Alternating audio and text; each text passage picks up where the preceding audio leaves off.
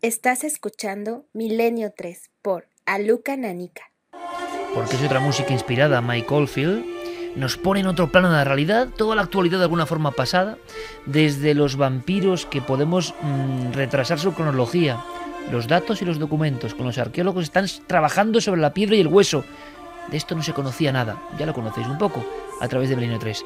Todas las turbulencias de la guerra, hacia dónde nos llevan los nuevos campos del cerebro, la mecánica extraña detrás de algunas filmaciones o fotografías en internet y su impacto, y ahora toca quizá una hora más distendida, aunque también habrá su latigazo del miedo y de los días de pánico.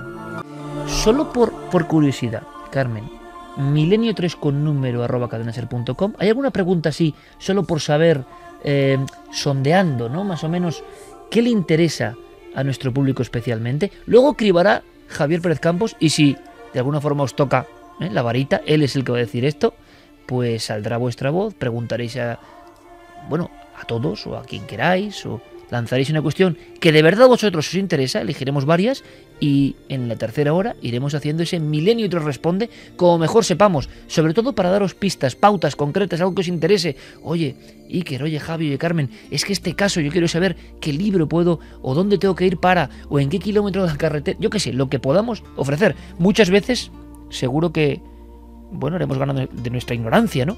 Pero también a través de todos vosotros llegaremos a pistas y datos, porque aquí todos, todos tenemos derecho a investigar, a buscar. Pero solo por saber así cómo suena, ¿hay algún Pues caso que se repita más que otros? o- Nos preguntaban sobre cosas que yo creo que hasta Santi va a tener que estudiar. Si hay algo de conspiración en una serie de animación llamada Futurama, Ajá. por ejemplo. También eh, nos hablaban de Cortijo Jurado, Sí. ¿Qué- qué ha pasado con Bueno, Cortijo Jurado? Podríamos hablar mucho. que sabían además que estaban haciendo una especie de hotel allí y, y que ya no se ha sabido nadie más. Pregunta tipo, más. ¿no? Eh, que nos puede preguntar además con la intensidad que él quiera, con voz, le grabaremos. Javi llamará a la persona y grabaremos su voz, su pregunta directa. Cortijo jurado, pues fíjate qué interesante. Hace Sobre humo. 10 años que no También bueno, nos humo. preguntaban, personajes de humo, ¿qué ha pasado? Venga, perfecto, ¿Es me verdad? encanta, me encanta. Muertes de Jan Slott y Philip Taylor Kramer Perfecto. en extrañas circunstancias. pueden dar casi lugar a, a programas enteros. Sí, aunque intentaremos ser responder en píldoras, ¿no? Porque si no, Sobre aviones sobre Mirage. Gardo Prats, por ejemplo, Cinco aviones Mirage de una escuadrilla de seis del ejército francés caídos al mismo tiempo en las proximidades de Huelva. Bueno, va a ser. ¿Eh? Pues yo eso no lo conozco, ¿ves? ¿Sabes lo malo? ¿Sabes lo malo con esto de las preguntas? Que voy a, voy a demostrar a mí mismo una vez más lo poco que sé, y eso es a veces molesto, ¿no?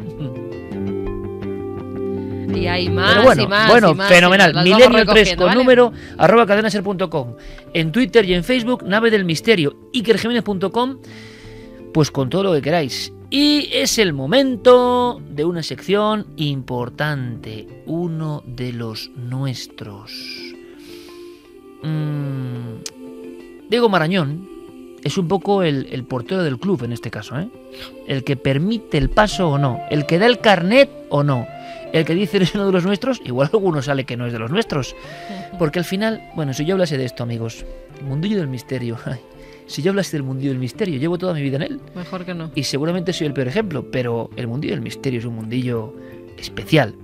Y muchas veces, y lo sé de buena tinta, queremos saber qué hay detrás de los personajes que nos hablan del misterio. A mí me encantaba, mm, y me encantan muchos grandes clásicos, ¿no? Y yo anhelaba con, jolín, ¿qué hacía Benítez? ¿Qué pensaba? ¿Dónde viajaba? ¿Por qué esa fuerza? ¿Por qué ese entusiasmo? U otros personajes, ¿no? Y yo sé que eso, generación en generación, pues va surgiendo su interés. ¿Qué pensarán de verdad? ¿Cuándo sintieron el misterio auténticamente? ¿Qué otras preguntas que nos podéis hacer también vosotros mm, más cotidianas os interesan? No es cuestión de hacer el ola del misterio, pero es aproximarnos un poco más a la... sección ¿Eh? El ola del misterio. Al final se acabará ca- llamando así. Eh, pero es un poco aproximarnos al ser humano, al alma que hay detrás de esa firma, de esa voz, de esa imagen televisiva, de esa vida dedicada a los misterios. Hemos elegido a alguien muy especial para el primer cuestionario, porque para mí, tengo que decirlo, es uno de los tipos más geniales, más honestos que yo he conocido en mi vida y he conocido unos cuantos. Em, yo le tengo un cariño entrañable y no hace falta precisamente que nos veamos constantemente, porque estamos ligados permanentemente, estamos condenados a entendernos. Él ha tenido una serie de encuentros con el misterio. Hay leyendas sobre él de que no existe. Le llegaron a decir que era un computador humano. Eh, En fin, eh, pero lo dicho, es Diego Marañón quien calibra con su test un test como no hay otro en el mundo del misterio y que espero que disfrutéis. Desde ya, si queréis, en las redes sociales, decidnos a quién queréis ¿eh? para someterse a este test. No es una cuestión de polígrafo ni nada de eso, es el test de Diego Marañón para ver si es uno de los nuestros. Buenas madrugadas. Identifíquese, por favor. Guillermo León Jiménez. Hay bastante, bastante, y lo voy a llamar de esa manera, de chapuza, en la manera en que nos lo presentaron. Guillermo se ha quedado muy sorprendido. Estamos ante un problema, ¿eh? Que ha habido tormenta sobre Valencina de la Concepción, centro neurálgico de la Sana. Aquello ha debido quedar casi como un solar. Guillermo está aislado completamente. Yo que tenía aquí mis papeles preparados sobre la noticia de los ovnis de Iberia y demás, pues yo me he quedado totalmente ya desconcentrado. has olvidado, yo ni llevo mis que valgan. ¿Eligió usted al misterio o el misterio le eligió a usted? Yo creo que a partes iguales. ¿En qué ocasión lo ha sentido más cerca? En una ocasión con el equipo de Cuarto Milenio en una grabación en Cádiz. ¿Cuál es su enigma predilecto? Pues el enigma de los platillos volantes. ¿Y ese lugar mágico al que siempre querría volver? Eh, más que lugar mágico me quedaría con época, alguna época pasada. ¿Somos producto del azar y la evolución o hay algo más? Quiero creer que hay algo más. En su opinión, ¿hemos sido visitados por extraterrestres en el pasado? Yo te diría que, que sí, estoy completamente seguro. ¿Qué hay más allá de la muerte? Pues depende de cómo lo entendamos. Eh, en la actualidad, entender la muerte sería algo totalmente distinto a como lo han visto los, nuestros antepasados. Hay una huella digital eh, en la actualidad increíble y yo creo que, que la muerte a partir de ahora tendremos que redefinir. ¿Teme la llegada de ese momento? No, ¿Supersticioso? tampoco. Se comenta que Guillermo León no existe. ¿Qué opina usted? Eh, es verdad. ¿Qué es la sana? Eh, paso palabra. En nuestros informes, como ha mencionado, consta un extraño episodio ocurrido en el Templo del Sueño de Cádiz. Profundicemos en él. ¿Qué ocurrió? Pues todavía me lo pregunto, la verdad, porque me encontré con algo, viví algo que, que aún no sé exactamente qué fue, pero que a mí inte- interiormente me puso la cabeza, como se suele decir, patas arriba, ¿no? Fue algo, un impacto bastante fuerte. Yo creo que hubo ahí un poco de, de- de apertura de la mente, a algo, algo, algo más.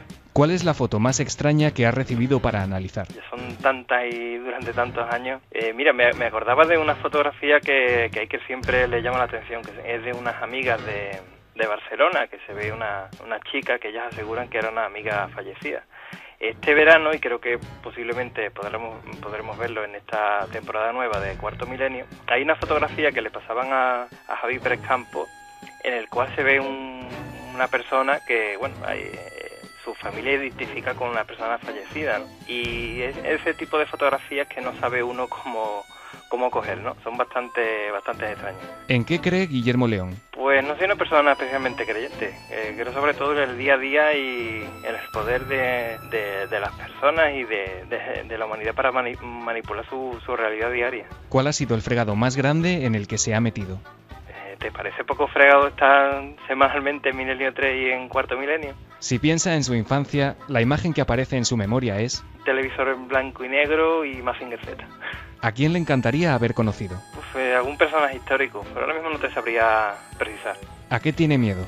Buena pregunta. Eh, a que llegue un día en que no tenga nada que hacer. Un libro y una película. Me quedo con Un Mundo Feliz, que creo que está actualidad más que nunca y, y- y sobre todo para lo que nos viene en el futuro. Y una película, pues encuentro en la tercera fase, sin duda. Un pintor y un músico. No tengo predilección por un, por un pintor en concreto. Me quedaría con, con esos anónimos artistas de, de las cuevas y un músico, bueno, yo que soy un, un loco de, digamos, del cine, me quedo con el maestro John Williams. Acabemos con un vicio confesable. Pues sí, eh, mi hijo de dos años que me quita todo el tiempo del mundo. Gracias por su colaboración. La identificación ha sido completada con éxito. Desde este momento puede considerarse, de forma oficial y por méritos propios, uno de los nuestros.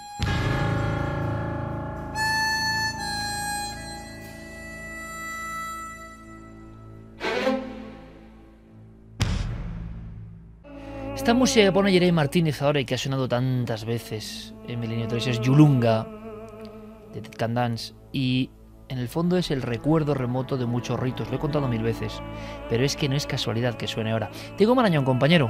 Muy buenas, Iker. Hola otra vez. eh, nos encanta la sección a todos, a todos. vamos a aprender cosas, ¿verdad? Vamos a, a saber más. Pero Guillermo León, que es bravo, tiene mucho arte, pues se mantenía ahí firme. No, Mm. no, no, no, no, no, no, no. Te acabo de contar que vio en ese templo del sueño. Tú has visto que he insistido, ¿eh? ¿eh? Y, y no ha habido manera de sacarle exactamente qué es lo que veo. Yo todavía no lo sé, a mí tampoco me lo ha contado. Tú no lo sabes, ¿no? ¿No? Eh, pero le has dado carne vía verde, ¿no? Sí, sí, sí, sí. Uno de los nuestros de pura cepa. Uno de los nuestros al 100%. Una cosa, una cosa antes. Diego. ¿Seguro o eres tú poniendo voz de Guillermo León y Porque realmente no existe? Puede haber conspiración. Oye, muy buena esa. Eh, hay muchos personajes que están pidiendo ya, ¿eh? Para, Sí. para el test. Dime algunos nombres. José Manuel Nieves, Santiago Vázquez, Enrique de Vicente. Míticos, míticos, míticos. Todos tienen que someterse al uno de los nuestros. Y además, Diego, irá variando preguntas, ¿no? La idea es entrar a fondo en el alma de nuestros amigos milenarios más célebres, ¿no? Claro, por supuesto, cada uno tendrá su parte de cuestionario personalizado, pero también, como te decía al principio del programa Iker, yo creo que va a ser muy interesante ver cómo muchos de ellos, pues unos con una mente un poco más escéptica, otros eh, pues más dados a creer en, la- en todas estas cosas un poquito más sobrenaturales, cómo responden, por ejemplo, a que hay más allá de la muerte. Eh, ¿Cómo responderá eso, qué sé yo, Enrique de Vicente? ¿O cómo responderá José Manuel Nieves? Para ¿O Enrique cómo tienes un par de horas, ¿no? De test. A veces tengo miedo de lo que me espera, Iker. Eh, pues fíjate, te voy a contar una pequeña historia, Diego, entre tú y yo. Tú escucha esta música, ¿vale? Vale. Guillermo León, uno de los nuestros. Buenas noches. No, ¿No está, no, no está, existe? es que no ¿No existe. veis cómo no Aún no existe? existe. Ha huido. Ha huido. Directamente se ha teletransportado a otro lugar en la sana. Paso palabra, decía. Buenas noches, amigo. Muy buena madrugada, ¿qué tal? Tú sabes por dónde voy con esta música, ¿verdad? Yo, yo te quiero mucho, pero sabía que ibas a poner Yulunga y me vas a dar la noche. Escucha. Carmen aquí está aplaudiendo porque es el mayor crack de los cracks, Guillermo León. Eh, ¿Por qué dice esto Guillermo León? Escuchad, escuchad. Yo acababa de escuchar esta música, acababa de mm, adoptarla en mi alma. Esto que puede parecer anécdota y vamos a aprender muchas cosas, no es casual. Yo tuve una experiencia muy fuerte, muy intensa y quizá un día la contaré, todavía es que no sé lo que, bien lo que me pasó, pero lo he dicho algunas veces en Altamira, con esta música solas en la caverna de Altamira. Sentí un flash como no he sentido en mi vida, impresionante, mi conciencia se abrió, entendí cosas y otras las desentendí, pero desde luego nunca he sentido algo parecido. Entró un Iker Jiménez en esa caverna y salió otro transfigurado. Todavía sigo preguntándome cosas, pero sé que yo he cambiado. Esta música, esta en concreto, me acompañaba, era mi única compañía dentro de la caverna. Y andábamos en otro lugar, que en el fondo era consecución de los mismos anhelos y sueños del ser humano. En los templos del sueño de Cádiz, en el subsuelo de la ciudad trimilenaria, la gente acudía para sanarse, para hablar con los sueños. Los antiguos, qué bonito, decían, he visto un sueño, no he tenido un sueño, he visto un sueño. ¿Y sabéis por qué? Porque los antiguos decían que los sueños no eran nuestros, no nos pertenecían. Los sueños era verlos, los sueños era algo ajeno a nosotros, pero que cada noche nos hablaba. Estábamos en el templo del sueño porque había extraños fenómenos en ese lugar, no nos extrañaba, estaba todo el equipo. Allí estaba Guillermo León, nuestro amigo, nuestro querido y entrañable amigo en tantas aventuras. Y yo hice una cosa, dije, Guillermo, ponte estos cascos, escucha Yulunga, vengo impresionado. Guillermo escuchó esta música, pero luego hizo algo, no sé si por error o no, se marchó solo por el subsuelo de Cádiz, por el templo del sueño, por el Asclepeion. Esta música, su única compañía. No estoy mintiendo, ¿verdad, Guillermo? No, desde luego. Y además eh, lo pensaba contar, que ahí la clave, el culpable fuiste tú en esa, ocasión. Pues en parte me alegro porque fui tu introductor sin quererlo, ¿no? Porque sabíamos que la música no es que uno imagine, qué manía, que el explicacionismo no es que uno ensueñe y con cosas que no existen, es que uno ve mejor lo que está y no se suele ver. La música ayuda a este paso. Y yo sé que es tremendo, pero es que tú en ese templo del sueño, y yo pongo la mano en el fuego por Guillermo como por cada uno de los nuestros, ¿no? Sé muy bien. ¿Tú te acuerdas, Carmen, cómo estaba Guillermo? Sí, ¿Pu- sí, ¿Puedes me hacerme una foto? Pues mira, Guillermo yo recuerdo que se fue, no sé todavía por qué. Es verdad que empezó a dar una vuelta él solo. eh, el resto del equipo estábamos recogiendo Son las catacumbas. cosas. Algunos acabamos de, de grabar algunas entradillas. Estábamos ya ultimando las últimas cosas para la televisión. Y de repente vemos que sale Guillermo completamente pálido, Dice que se ha encontrado con algo que no lo sabe explicar y que quiere salir de ahí, que quiere salir de ahí. Y no volvió a entrar. Y yo esa cara, ese rostro lo reconozco en otros testigos. Es la cara de haber sido impactado por el misterio. ¿Qué te pasó, amigo? Pues yo recuerdo que fue, si no me equivoco, me corregí la segunda noche, la segunda madrugada de que estuvimos allí. Mm. Y ya era bastante tarde porque estaba todo el equipo recogiendo y tal. Y lo que comentaba Iker, que se me acerca eh, con, con, con el iPod y tal, y me dice, Guille, ponte esta música, que quizás sea la que utilice para, para el reportaje, y date una vuelta por la sala.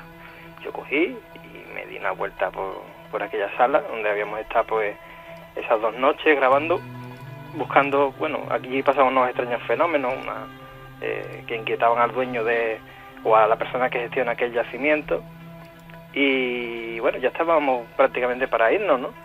Y recuerdo que, llevaba la música de, de Yurunga, nunca la había escuchado, por cierto, y prácticamente llegando al final de la sala de recorrido, pues yo vi, bueno, lo estoy viendo ahora claramente, un- una, una, una especie de figura, una sombra, eh, bajita, yo diría que como de la altura de un, de un niño, y que pasó frente, frente a mí.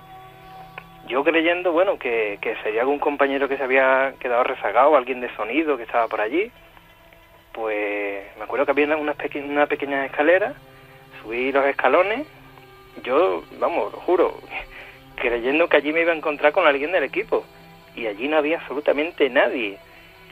Y en ese momento, no sé por qué, y yo estoy curado de espanto, y tú bien lo sabes, eh, sentí una presión enorme en, en la parte de atrás, en la, en la cabeza, y miré para, bueno, me di media vuelta, poco a poco me fui yendo, pero al final es que tuve que salir corriendo, porque es que aquello fue eh, algo, yo no lo puedo describir, ¿no? Pero lo más aterrador de, de mi vida, vamos.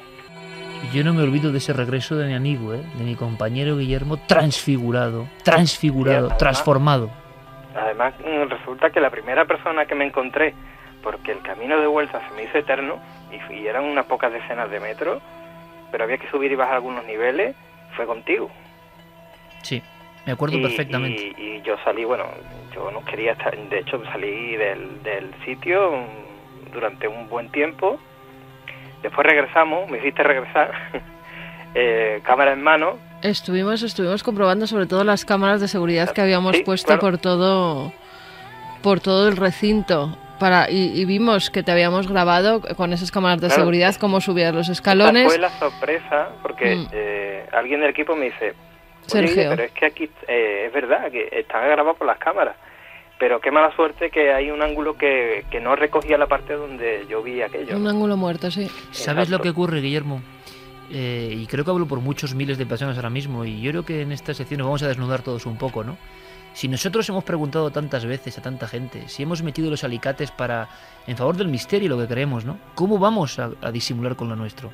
¿Cómo vamos a ser valientes cuando hemos vivido experiencias? ¿Qué problema hay en contarlo?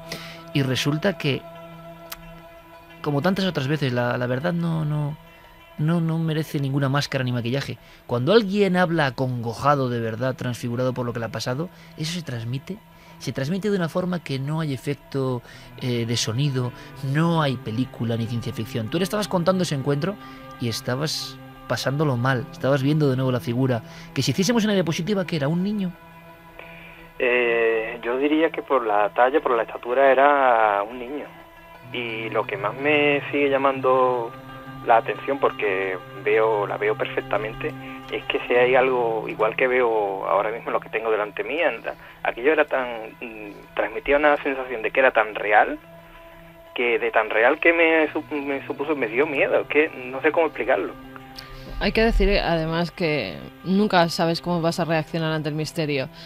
Eh, Lleves muchos años investigándolo, no lleves ningún año, eh, seas una persona normal, seas una persona eh, que está interesada en el, en el misterio, en los fantasmas. Y yo recuerdo cómo Guillermo esa noche tenía que dormir con nosotros en el hotel que habíamos cogido en Cádiz para descansar todo el equipo. Eran ya altas horas de la madrugada, no sé si tres y media, cuatro, si no recuerdo mal. Y le dijimos, bueno, Guille, vamos tranquilamente al hotel, nos tomamos algo, nos cuentas, te tranquilizas porque estaba muy nervioso.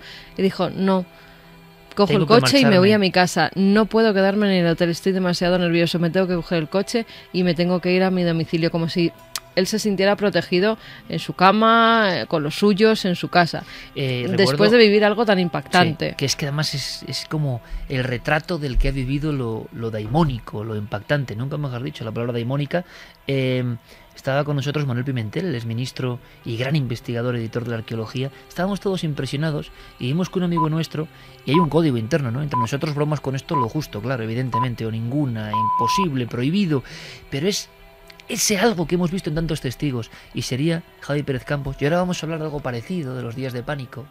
Eh, nunca mejor dicho, la realidad daimónica, que para quien no lo entienda, vamos a intentar ir explicándolo en diferentes semanas.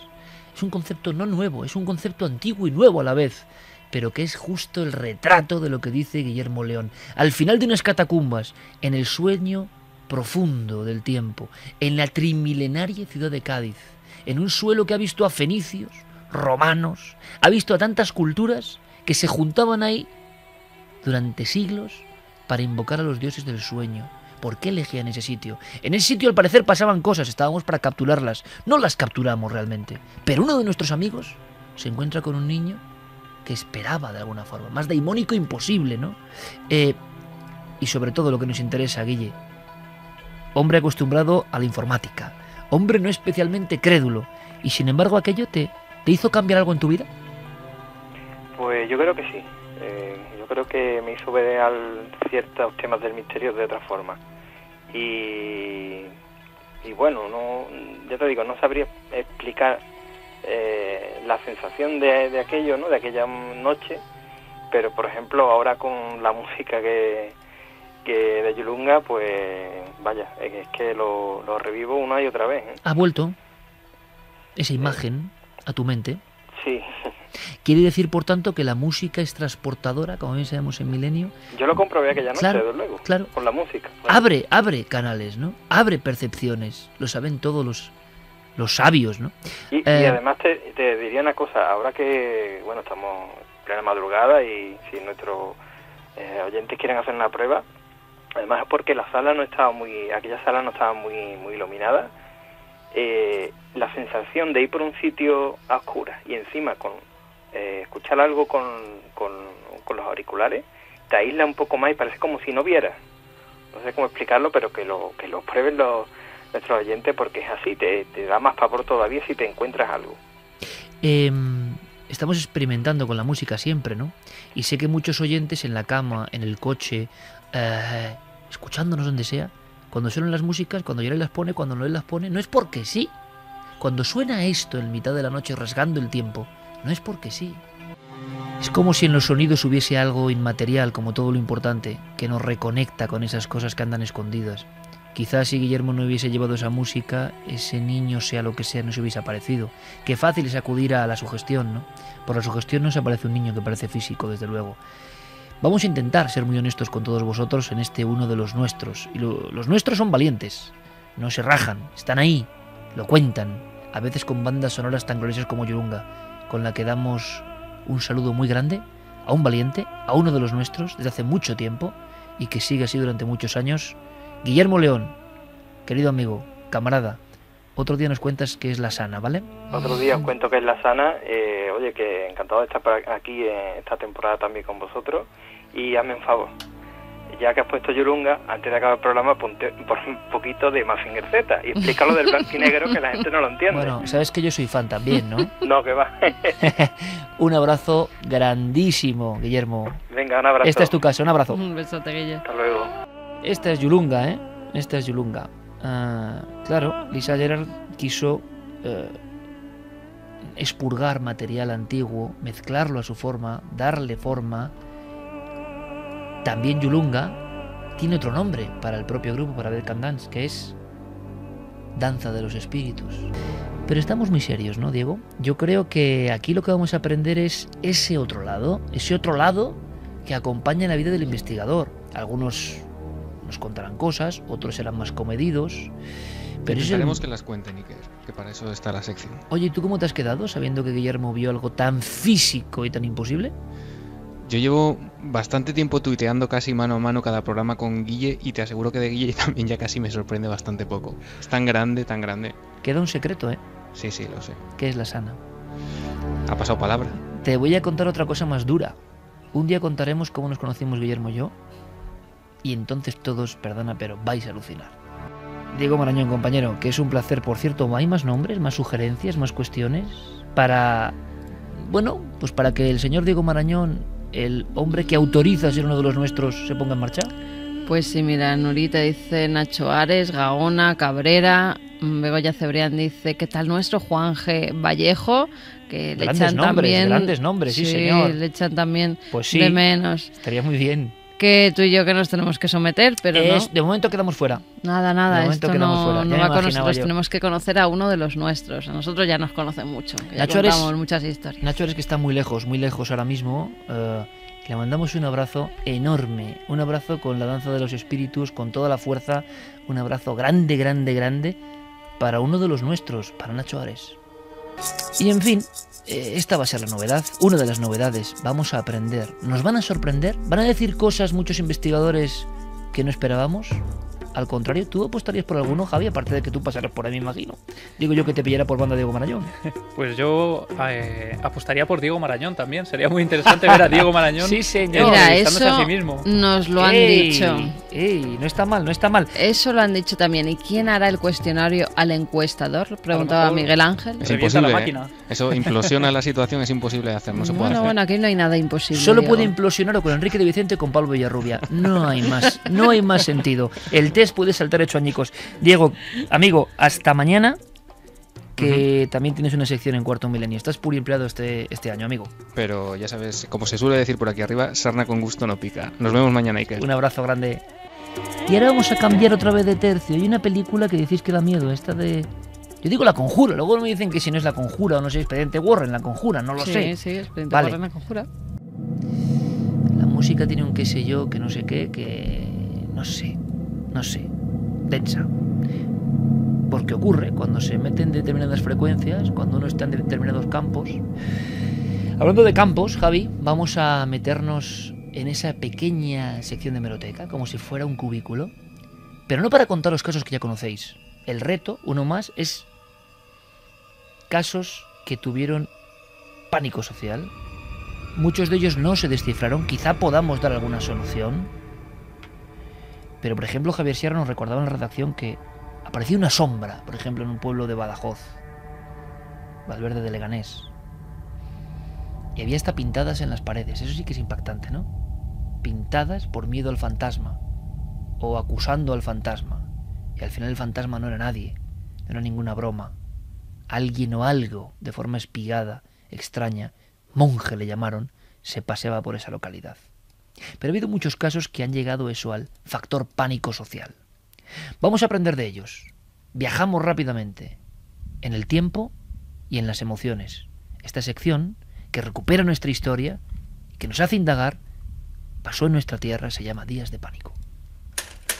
El monstruo de Penamoa. Lugar, barrio de Penamoa, A Coruña. Fecha, septiembre de 1985. Tipo de fenómeno, aparición humanoide.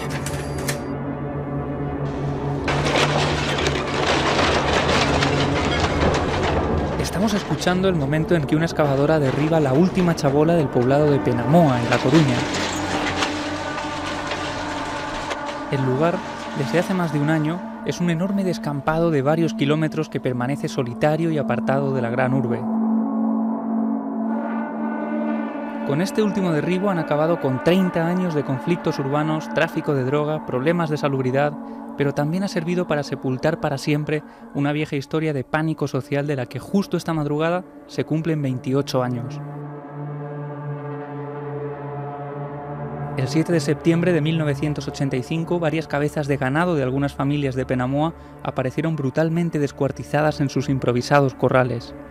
Otras permanecían en el suelo, inmóviles, con una última mirada de horror. Posteriormente, los análisis veterinarios acabarían dictaminando que estaban exangües, como vaciados a través de dos pequeños orificios que permanecían ocultos en su yugular. Precisamente esa misma mañana del 7 de septiembre, varios vecinos habían compartido una extraña experiencia.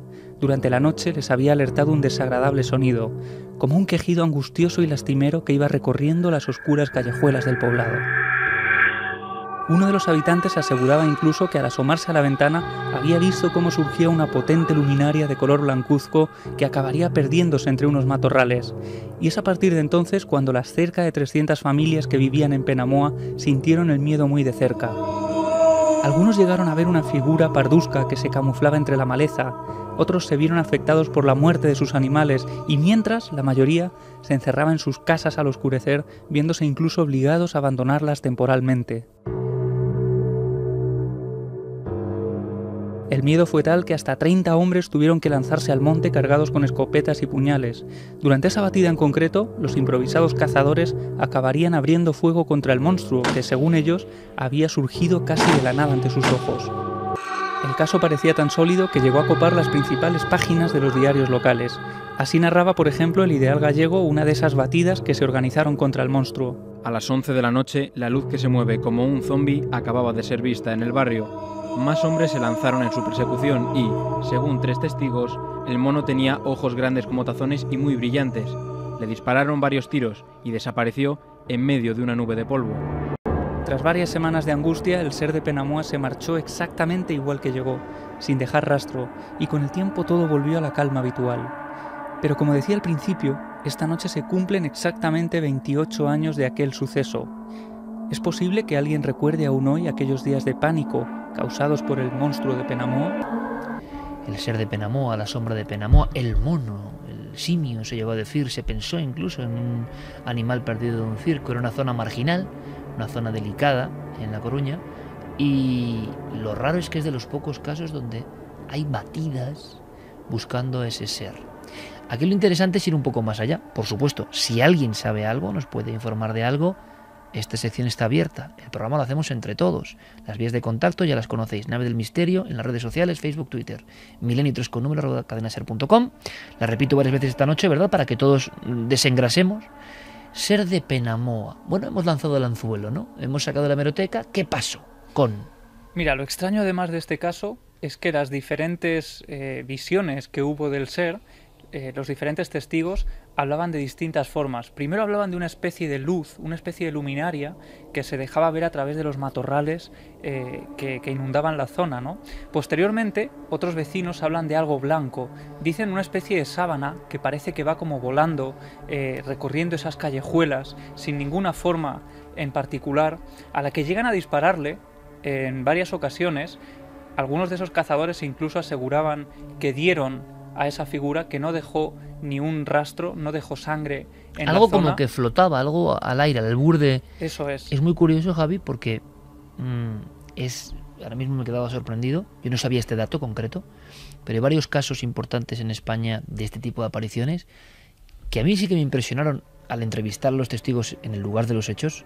Por ejemplo, en el puerto de Alexis en Cantabria, Renault 4, 1991 vuelta de una obra, una persona que está organizando allí las obras, y dice que se cree que es una bolsa de basura. ¿Os imagináis en el coche? Claro, un puerto como el de Alisas, ¿eh?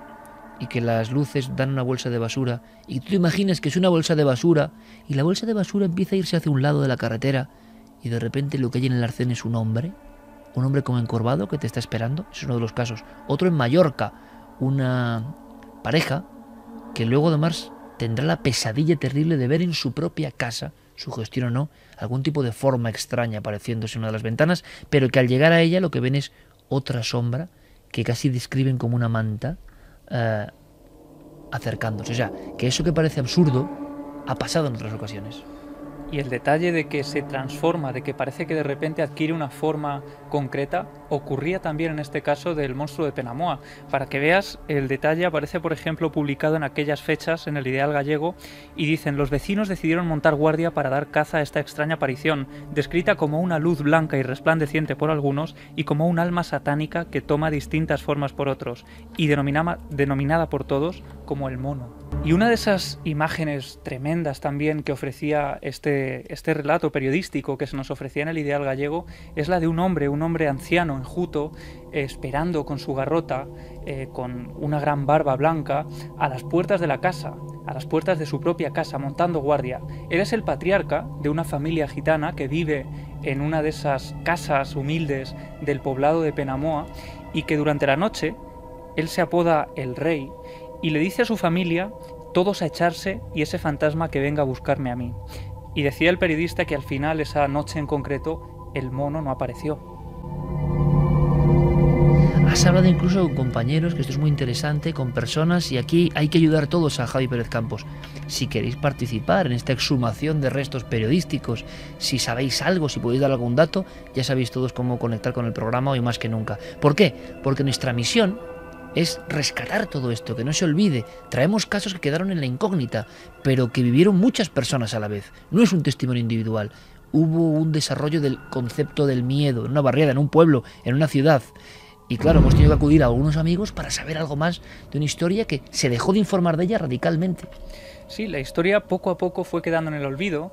Eh, otras noticias mucho más importantes fueron haciendo sombra a este suceso. Y por eso hemos hablado, Iker, con Ángel Varela y con Pemón Bouzas, dos buenos periodistas de la zona y amigos del programa, que nos han relatado un poco, eh, casi en primera persona, alguno de ellos había vivido también esa época siendo muy joven, recordaba, por ejemplo, las tertulias en los bares, relatando lo que había ocurrido la noche anterior, y ellos nos hablan un poco de ese fenómeno sociológico y también de lo que ocurrió al final de esta historia.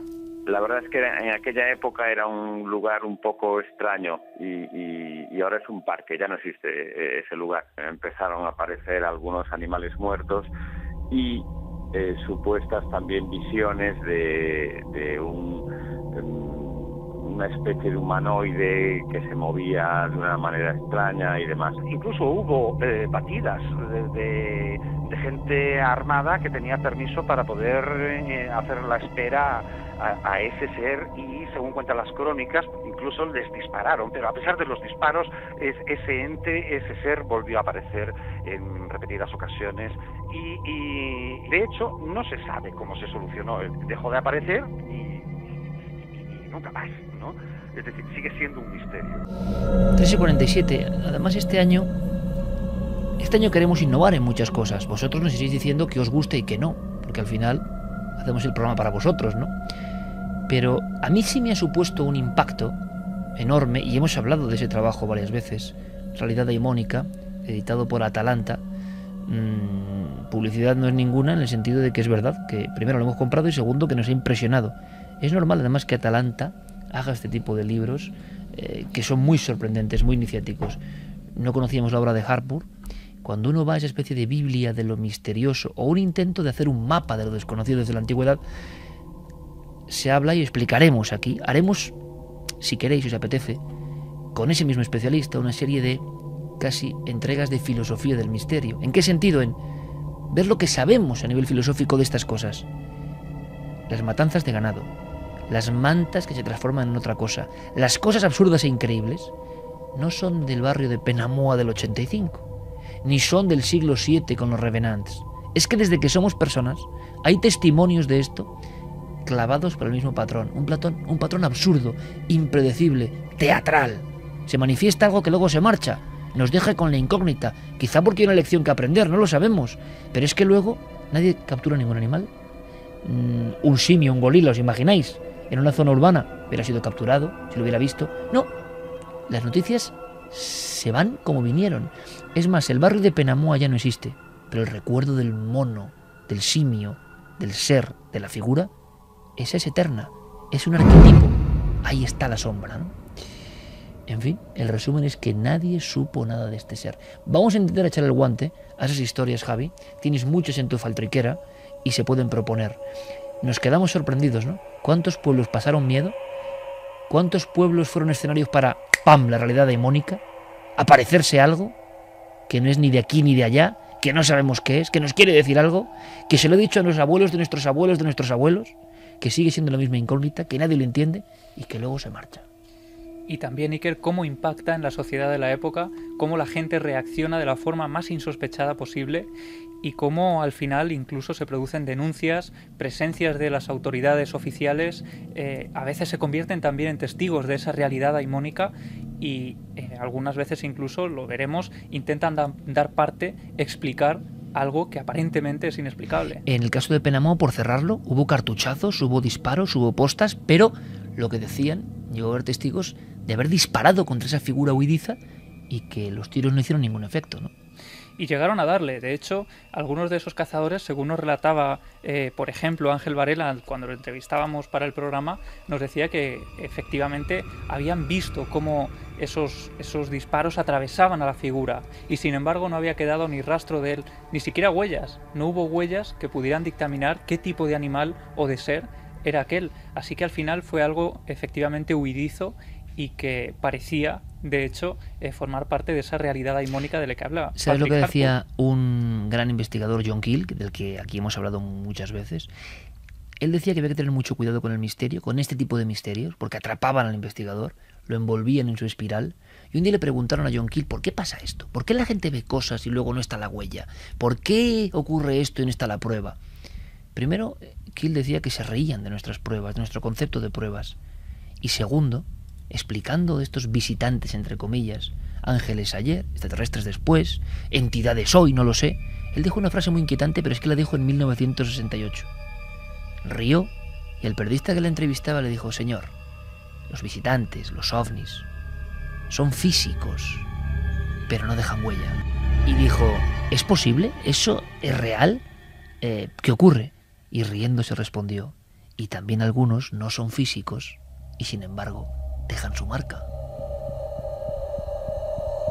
Con lo cual el entrevistador al final ya no sabía en qué mundos estaba John Keel, pero John Keel estaba en otros mundos muy diferentes al común de los mortales. Por cierto, Guillermo León, que tiene un encuentro que variando la sombra, variando la medida, variando el lugar, prácticamente es lo mismo, o sea, alguien racional, normal, por mucho interés que tenga en el misterio, de repente se le cruza algo absolutamente inexplicable, le deja choqueado, Estoy en shock, decía Guillermo, ¿te acuerdas, Carmen, allí en el mm. Templo del Suen? Estoy en shock. Él hablaba de otra muestra, que es cuando las cámaras captan esto. Le preguntaba a Diego Marañón en su test por una fotografía, y yo veía la fotografía.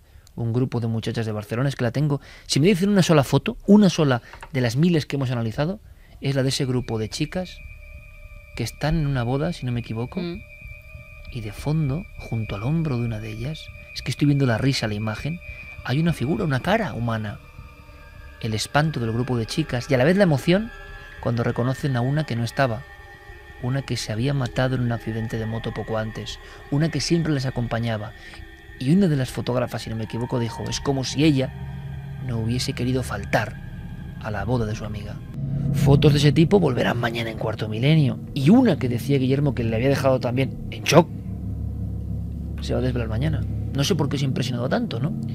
Bueno, eh, sobre todo por, por, la historia y por la imagen que nos remitía con esa historia. Es una chica que está con una niña, están eh, pues, de vacaciones y, es una fotografía como otra cualquiera, hasta que se dan cuenta que atrás hay alguien.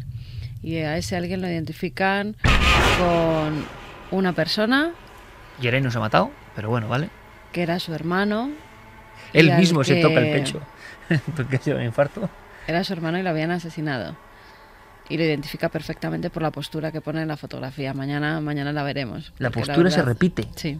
Es más, ella nos manda una fotografía eh, para que veamos cómo posaba su hermano, siempre de la misma forma. Era una pose que él tenía como habitual cuando le hacían una foto. Mm. Bueno, mañana lo vemos. Mañana lo vemos entre otras muchas cosas. Eh, en fin, no necesito sustos. Cambia el tercio, amigo vámonos con unos últimos mensajes, vámonos con algo de respiro, porque hemos entrado, nunca mejor dicho, en ese umbral, ¿no? Entre lo de Guillermo, lo de Penamó y lo de la foto, hemos entrado en otro umbral. Vamos a ir saliendo poco a poco de él. Pues vamos con los últimos mensajes de la noche. Dark Boss nos decía, me parecen fantásticas las nuevas secciones, renovarse o morir. Mi más sincera enhorabuena.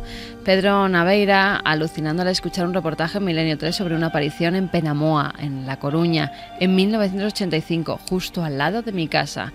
Aaron Rodríguez, ¿no tiene similitud este tema con el famoso chupacabras de Tenerife de los años 70? Bueno, a mí fíjate, eso me parece inquietante, ¿no? Yo no conocía el dato, sí había oído hablar y había registrado como un caso clásico de los 80, porque estuvieron los famosos aparecidos de Vegas de Coria, ¿te acuerdas? Y todo eso, es decir, hubo un clima ahí de varios casos. Pero no recordaba ese elemento extraño, ¿no? Cabezas de ganado descuartizadas. Sí, de y hecho, chupadas. llegaron a hablar algunos medios del chupacabras de Penamoa, precisamente también porque empezaban a llegar esos casos también de Sudamérica donde ocurrían cosas muy parecidas. Otros hablaban de meigas malas, de alguna vecina que había echado una maldición, en fin, era un clima, un caldo de cultivo muy especial. Sí, pero me, me- me da mucho más el tufo real, eso de las meigas y demás, en el sentido de que justo 10 años después, en Puerto Rico, se empieza a hablar de los ataques a ganado, ¿no? Y sin embargo los teníamos mucho antes, mucho más cerca. Alejandro Caudá me dice el monstruo de Penamoa, vivo a unos dos kilómetros del lugar. Mi abuelo me habló sobre eso no hace mucho. Él nos dice que es de La Coruña. También, como no podía ser de otra forma, empezamos temporada con nuevos milenarios. Eso me encanta, eso me encanta. Porque al final es, y en un día repetimos, ¿no? Tan un poquito gris para muchos, oye, la fuerza y la luz vital, ¿no? La que se impone siempre. Sí. Isaac Grau nos decía, por favor, mandadle vuestra bendición a un nuevo milenario que nació en agosto en Concentaina, en Alicante, que se llama Isaac. Y que ya, aunque dormido en su cuna, escucha de fondo el primer programa de la temporada. Tremendo. Nuestra bendición milenaria y además mi, un buen amigo me hablaba hace poco, os, daré- eh, iré dando datos de un niño que estaba malito y sus padres, eh, bueno, pues buscaban una solución. Nos llegan algunos casos tremendos y nosotros siempre vamos a dar argumentos, ¿no? Y vamos a potenciar como hemos hecho. Tenemos un micrófono, tenemos responsabilidad y nos da mucha pena, ¿no? Que haya gente que lo, que lo pasa mal. Y una forma de ayudar, ya que la solidaridad, por fortuna, ¿no? también está eh, ahora mismo más de moda que nunca y nos parece bien, es anunciar, es dar voz, es dar micrófono, ¿no? A actitudes y problemas que sí que nos parecen importantes. Iremos dando información, como siempre Guillermo en las redes sociales pone, ¿no? Casos muy concretos porque nos han llegado, el del niño de la médula, el de la niñita de hace unos meses, este otro niño que tiene un problema cerebral importante y sus padres no saben qué hacer, no tienen ayuda. Hombre, por supuesto que, que milenio y el ser milenario también es eso, ¿no? Pues mira, más milenarios, Raúl y Paula, que se casan el próximo sábado. Bueno, Así mucha que suerte. mira, mucha suerte y aunque estén en la boda, que se ponga Milenio 3, hombre, que lo Sí. pongan si no en toda la boda, en vez Sí, de la tremendo, música. tremendo. Milenio 3, que Con mejor. León. Mucha gente también, algunos nos escriben desde hospitales y otra gente que nos escribe desde guardias que están haciendo en sus respectivos trabajos. Pues nada, O sea que notamos que, que- que va llegando, ¿no? Poco a poco, porque también Mm. había dudas sobre la fecha de inicio, que poco a poco la tribu se va juntando, ¿no? Sí, sí, pues eso, que gente que nos escribe desde camas de hospitales que están pasándolo un poquillo mal, toda Nada. esa gente, mucha fuerza, un beso muy fuerte y que nosotros estaremos aquí para acompañarles todas las semanas. Un poco de energía positiva con esta música que trae Jeremy Martínez que le encanta, Tembi, uno de los clásicos. Porque al final, lo decíamos al principio, ¿no? Valga la redundancia, alfa y omega, todo al final vuelve a un punto de retorno, un punto inicial. Al final se puede hablar de muchas cosas, pasar un rato eh, de angustia incluso con algunos casos, ¿no? Pero bueno, ¿qué es esto? ¿Qué es esto? ¿Qué es esto? Qué grande, qué grande. La frase más grande de esta noche. Guillermo León, ¿qué es para ti la infancia? Una tele en blanco y negro en Mazinger Z. Yo digo, suscribo. Yo creo que Mazinger nos dejó a los del 73, 74, 75, un pozo, un pozo. Yo tenía 5 años y no puedo olvidarlo. Mi abrazo a todos los seres de Koji Kabuto, esta música eh, es de enloquecer. Esta música eh, para nosotros es absolutamente milenaria también, un clásico entre los clásicos. Y en fin, eh, así estamos de locos, ¿no?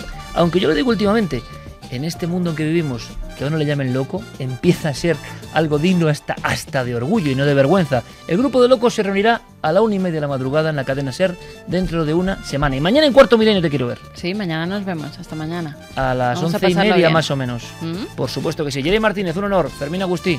Hasta la próxima semana. Javi, gracias. Un abrazo. Y por favor, sed muy felices.